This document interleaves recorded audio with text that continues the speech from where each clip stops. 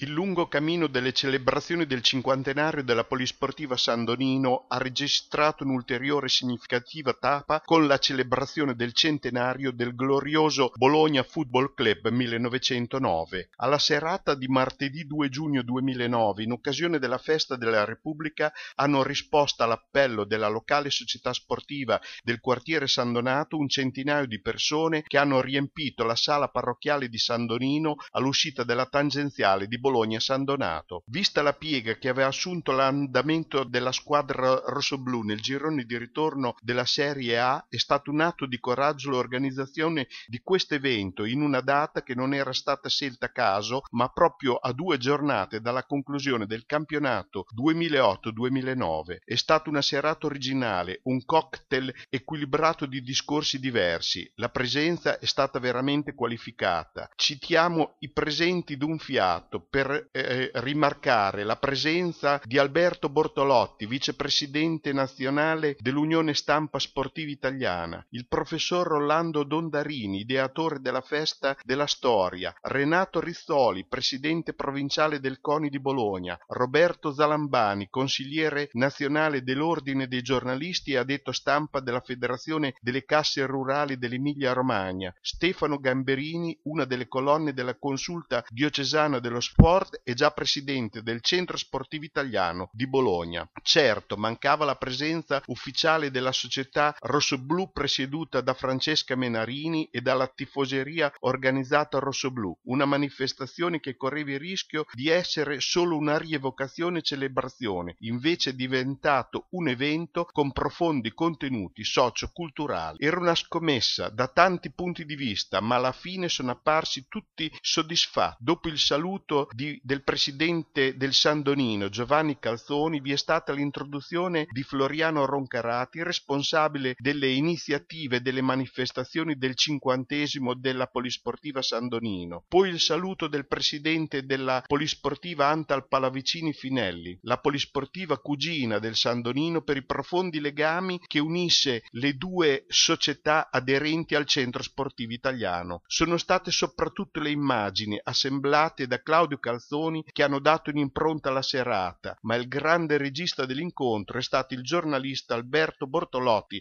che in questo lembo di terra del quartiere San Donato ha trovato la consorte e soprattutto nel villaggio dei giovani sposi voluto dal cardinale Ercaro continua ad avere riferimenti molto importanti della sua famiglia. Nel dipanarsi degli argomenti i presenti hanno potuto apprezzare le affabilità, la competenza e la disponibilità dell'ideatore del palone gonfiato Beato che ha guidato il meeting con grande professionalità. Il ricordo di Don Libero Nanni è stato tenuto da Stefano Gamberini, il quale, prima come componente della Consulta diocesana dello sport, ma è stato anche grande amico del cappellano del Bologna. L'ex presidente del CSI ha rievocato la storia personale del sacerdote che è stato vicino ai rossoblù, le sue gioie e le sue amarezze. Don Libero ha operato anche tra i ferrovieri e nella realtà dell'Onarmo. Don Nanni era molto devota alla Madonna e ha compiuto molti pellegrinaggi a Lourdes. Era anche legato al territorio di San Donato per il villaggio dei giovani sposi voluto dal cardinale Giacomo Lercaro, per la presenza dello smistamento ferroviario e delle case del triangolo dei ferrovieri di via della Campagna.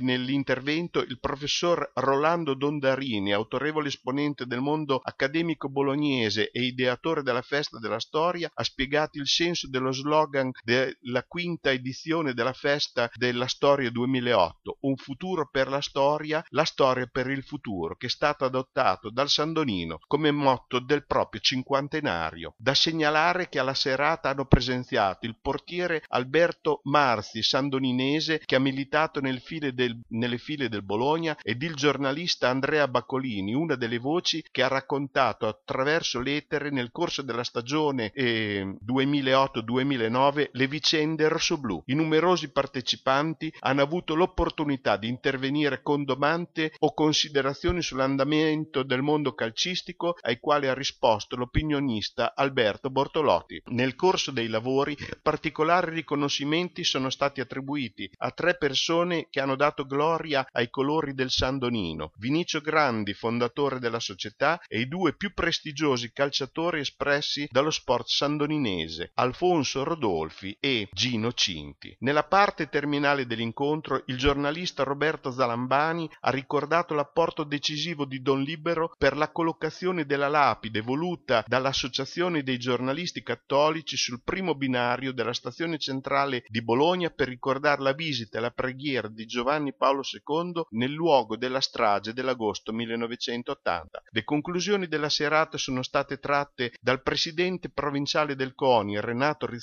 che ha messo in evidenza il significato delle Bolognie di 2009 e l'azione che il CONI petroniano sta facendo per la promozione dei valori olimpici. La manifestazione sul centenario del Bologna Football Club 1909, organizzato dalla Polisportiva San Donino, ha cercato di coniugare l'opportunità della settimana olimpica bolognese e il desiderio di far amare sempre più la squadra del dottor Balanzone. La serata è stata un'occasione di aggregazione e socializzazione con la quale il San Donino ha voluto accomunare i valori olimpici con quelli dello sport di base, ma anche evidenziare come nel cuore degli sportivi vive la petronianità che accomuna la fede per il San Donino e per il Bologna. Come disse Monsignor Ernesto Vecchi in occasione dei funerali di Giacomo Bulgarelli, quella petronianità per la quale lungo i secoli la città di Bologna è fiorita in modo armonico a tutto campo nei monumenti, nell'arte, nelle opere di misericordia e di promozione umana, nelle strutture educative e ricreative dove lo sport, specialmente nel calcio, ha raggiunto traguardi sublimi.